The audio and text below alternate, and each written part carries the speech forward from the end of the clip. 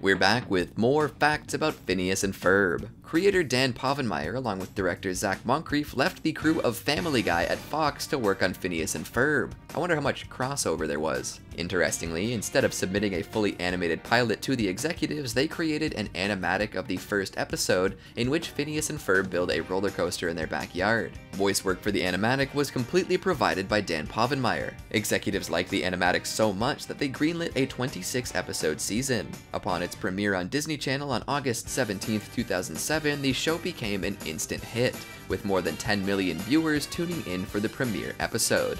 To cap this episode off, we'll talk about something interesting about Dr. Doofenshmirtz. That's right, originally Dr. Doofenshmirtz was going to be called Metal Schmortz. I just don't think it quite has that same ring to it, especially if he's going to be building doomsday machines. Watch the full video here on Channel Frederator.